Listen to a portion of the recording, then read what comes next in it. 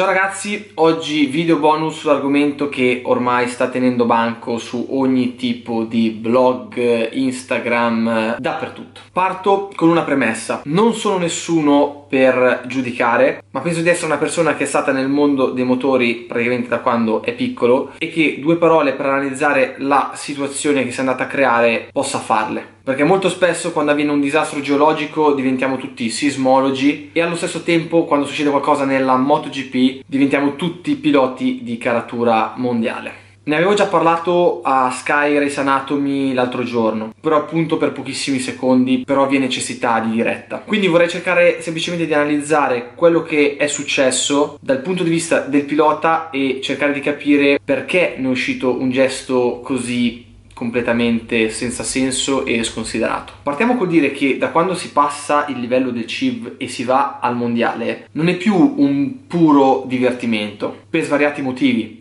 la pressione mediatica, la necessità di fare risultati per gli sponsor e via dicendo. È un ambiente dove la gara prima sei un fenomeno e la gara dopo devi scusarti del perché hai fatto schifo. Quindi questi ragazzi che hanno 17, 18, 19, 20 anni devono portarsi già un bel carico addosso e se di testa non si è ben preparati possono accadere brutti scherzi. E il problema è proprio questo. Per stare al mondiale, dove il livello è massimo, dal primo all'ultimo sono i piloti migliori al mondo, non ci si può permettere di essere forti solo in pista, ma anzi il fenomeno lo si riconosce da questa, da come sa gestire le situazioni avverse e le situazioni positive. Diciamo che non devo farvi degli esempi. Detto questo, molto semplicemente, se sei un pilota che va forte in pista, ma non sai reggere i ritmi e le pressioni che ti richiedono un campionato mondiale, questo nei casi limite è quello che succede.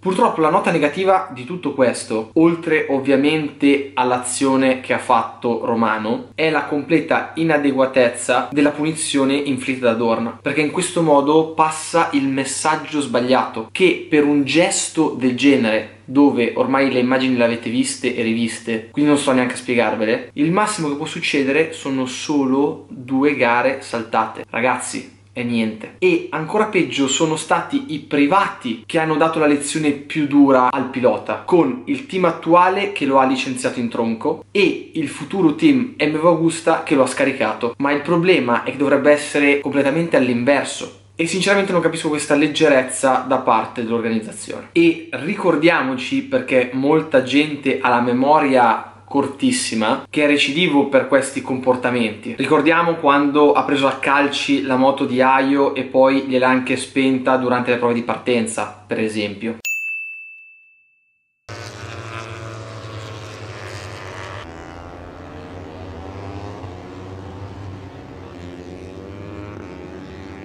Concludo dicendo che tutti noi possiamo sbagliare. Sto vedendo veramente troppi insulti e odio verso Fenati e la sua famiglia che comunque non c'entra assolutamente nulla. Capita il momento di completo annebbiamento mentale nel quale facciamo stupidaggini. Però allo stesso modo ci deve essere un'entità superiore che fa capire la lezione. Per esempio, invece delle due gare inflitte che sono una cosa ridicola, sospenderlo per tutto questo campionato che tanto non perde niente perché non è che si sta giocando chissà che cosa, però anche le prime quattro gare del 2019, dove già partirebbe quindi molto svantaggiato, lì sì che scatta nella testa la consapevolezza di dire veramente ho sbagliato.